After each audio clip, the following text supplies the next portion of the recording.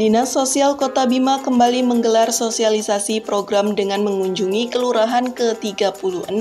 Kali ini, roadshow dilakukan di Pasar Kelurahan Penaraga. Dalam kegiatan ini turut hadir pula PJ Wali Kota Bima, Kadis Sosial, Lurah, serta pejabat terkait.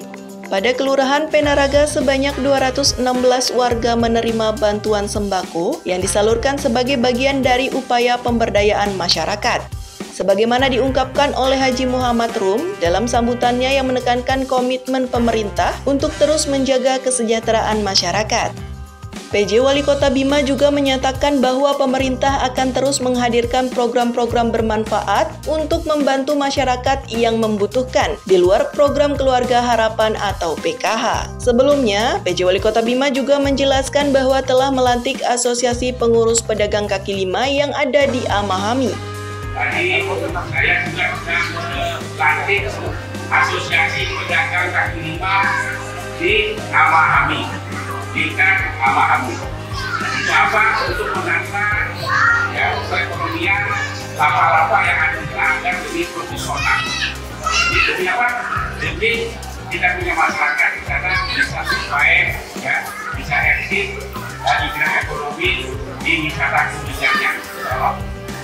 buat kota Bima sama Ami Kompleks menjadi tempat hiburan bagi wilayah timur yang ada di minimal di daerah kita. Salam. Ajirum juga mengatakan bahwa akan ada investor yang masuk ke Lawata dan di depan Masjid Terapung akan dibangun Hotel Kaloka Suite. Kalau di Lawata akan ada investor,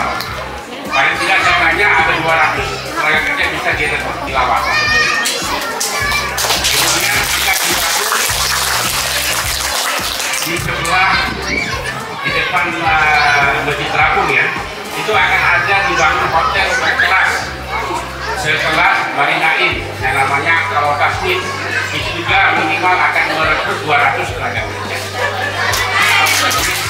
Kepala Dinas Sosial pada kesempatan ini juga menjelaskan tujuan dari Dinas Sosial menggelar roadshow ini yaitu mendekatkan diri kepada masyarakat. Tujuan kami mengadakan roadshow ini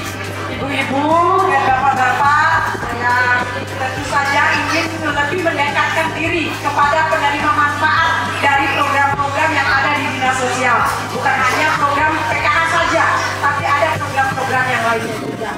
Tidak lupa pula, Kadis Sosial menjelaskan bidang yang ada di Dinas Sosial. Di Dinas Sosial itu ada tiga bidang. Satu sekretaris, ya, bidang Jamsos yang menaungi PKHK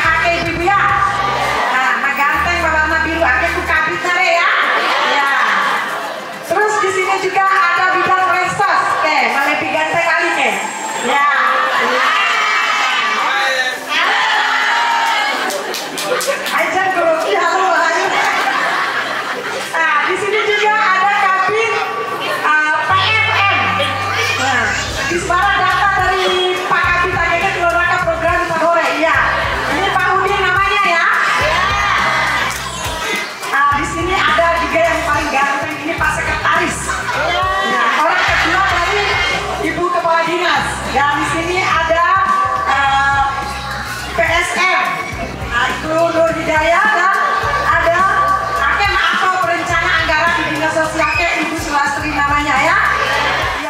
Selain sosialisasi, kegiatan juga dirangkai dengan pembagian bantuan dan ditutup dengan melakukan senam bersama.